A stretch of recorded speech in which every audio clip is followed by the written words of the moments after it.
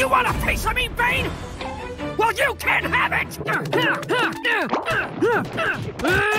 Stop! Stop! I don't want to fight you. I just wanted to bring you this welcome basket. Wow, that was really thoughtful of you. Now get lost! Okay, Titans, now that we've demonstrated our dominance, it's time to find Santa. Uh, guys? It can't be! It isn't.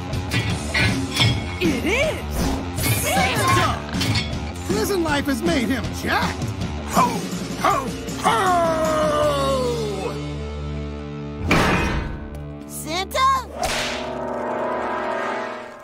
Well, well, if it isn't Beast Boy and the other garbage children. Here's the deal, yo. We's here to bust you out so you can deliver our presents. Forget it. I'm not going anywhere with you. You're the reason I'm in this dump. But wouldn't you rather spend Christmas outside these walls? No, there's nothing for me out there anymore. What about the reindeer? My reindeer? Ah, our relationship soured the moment I got locked up.